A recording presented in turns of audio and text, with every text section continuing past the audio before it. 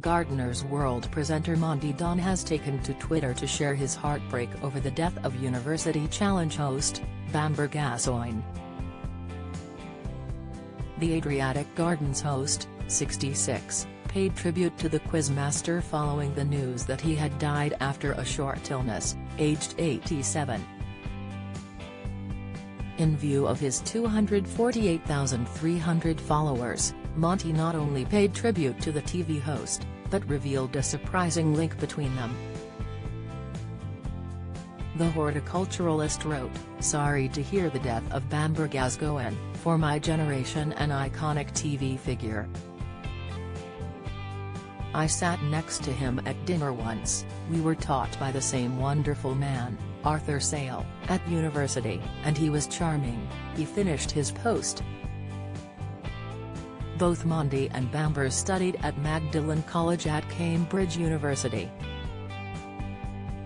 Following Monty's tweet, his fans took to the comments section to share their own memories of the TV host. Julia Stocks wrote, When we were kids my sister used to call him Bambi Gascoigne. Seriously though his passing is sad news. He was unfailingly polite and kind on UC to the students. Maria Donnelly Kerpend, I still shout out Bamber Gascoigne to asking the questions. Sick, earlier today it was revealed the University Challenge host had died at his home in Richmond, London after suffering a short illness. The star had been married to his wife Christina for 55 years. Bamber was best known for being the original host of BBC's University Challenge.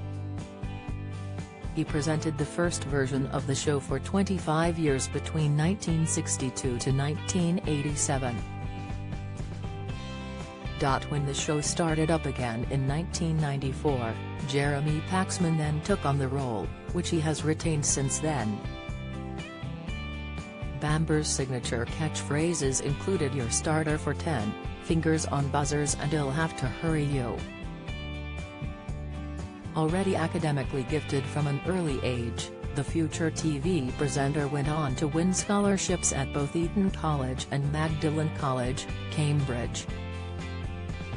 He read English literature at Cambridge University from 1955, and two years later in 1957, he wrote a musical called Share My Lettuce, which was produced in London and starred Dame Maggie Smith and Kenneth Williams. As well as appearing on the popular TV show, Bamber was also an established author and documentarian, with a particular interest in history. He also wrote and presented multiple TV series, including 1990's show The Great Moguls, which he wrote and presented on. A man of many talents, he then went on to be a Commonwealth Fund Scholar at the University of Yale. In 2018, Bamber was appointed Commander of the Order of the British Empire CBE, by the Queen for services to the arts.